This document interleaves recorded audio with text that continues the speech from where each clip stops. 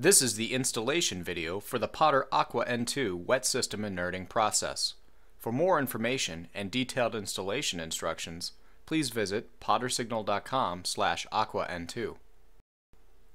At the wet system riser, install the nitrogen injection manifold above the alarm check valve. At a remote point on the wet fire sprinkler system, such as a remote inspector's test port, install the quick exhaust manifold. The location should be easily accessible for operation.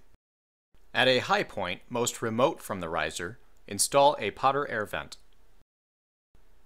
At the wet system riser, fully open the nitrogen cylinder. Once the cylinder is open, adjust the nitrogen cylinder pressure regulator to 40 psi. Using the supplied hose with quick disconnect, connect the hose from the nitrogen cylinder to the nitrogen injection manifold. Open the ball valve on the nitrogen injection manifold. Nitrogen gas should be entering the fire sprinkler system. Walk to the quick exhaust manifold and observe the pressure rising on the pressure gauge. Once the pressure in the system has reached 40 psi, open the ball valve on the quick exhaust manifold. Note, this should only be done in a ventilated room.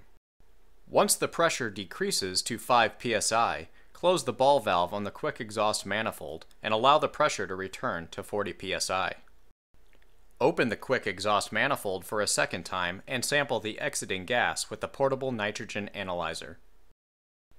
The nitrogen gas should read 98% concentration or greater.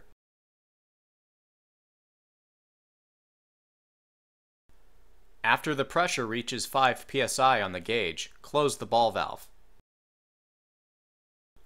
At this time, return to the wet sprinkler riser and fully close the nitrogen cylinder. Close the ball valve on the nitrogen injection manifold and disconnect the hose. The system is now full of high purity nitrogen. Return the system back to service by filling with water. Thank you for using the Potter Aqua N2 wet system inerting. For more information and detailed installation instructions, please visit pottersignal.com slash aquan2.